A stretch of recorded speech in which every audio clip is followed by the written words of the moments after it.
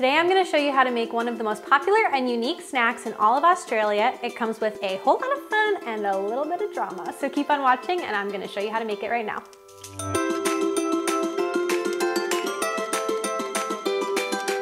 What's up everyone? Welcome to the Foreign Fork. My name is Alexandria and this is the Foreign Fork where we are cooking one meal from every country in the world.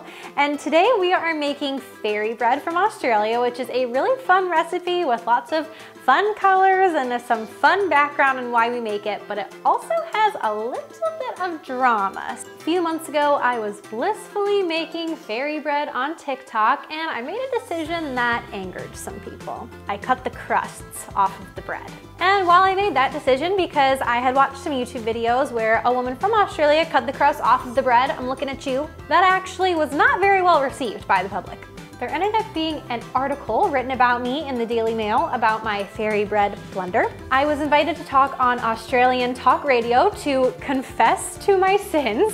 And I even was featured on Sunrise at 7, which is the Australia morning show that everyone watches. It was a little bit embarrassing, also a little bit funny. And so I definitely learned a lot about how to make fairy bread, which is number one, most important thing, don't cut off the crust. Today I'm here, we are going to be making fairy bread in my kitchen with all of the tips that I have learned from Australia as they tore me apart in my TikTok comments. And now I know exactly how to make this recipe perfectly, so I'm going to make sure that you know how to make it perfectly too. First things first, people, I need you to go to the store. I need you to buy a loaf of the cheapest white bread you can possibly find. No high quality stuff, no bakery stuff. We need Wonder Bread up in here. Next, margarine, no butter margarine is what you need to make this recipe.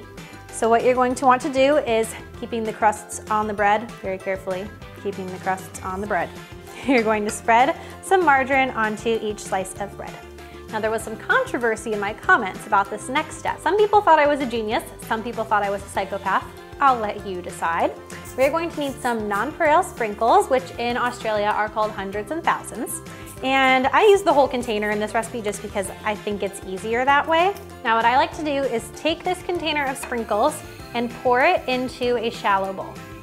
Then you can take your piece of bread and dip it right into the sprinkles, making sure that the whole piece of bread is coated in your hundreds and thousands. And then the last thing that you're gonna do is cut it in half diagonally. For those people that did not like the dipping the bread into the sprinkles, there is another option. You can also just use the shaker part of the bottle and sprinkle your hundreds and thousands all over your bread.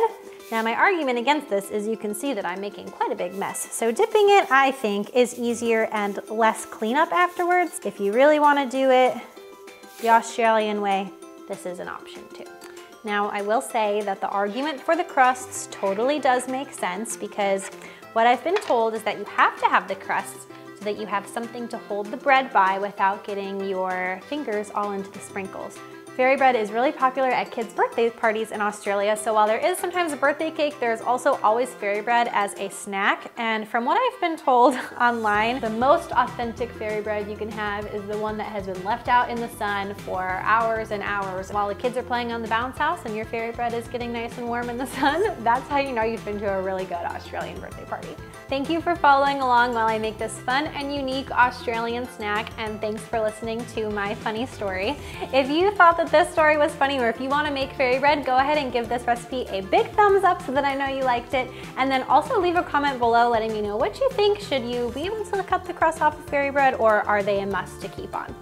Don't forget to check out all of the other recipes that are on my YouTube channel. The link to the recipe with some tips and tricks is gonna be in the description of this video, as well as some of the links to the other Australian recipes that I tried, because don't worry, I did make more than fairy bread. There are also some recipes on my YouTube channel that I definitely think you should check out, so don't forget to browse through the other recipes there. And most importantly, don't forget to put some culture in your kitchen this week.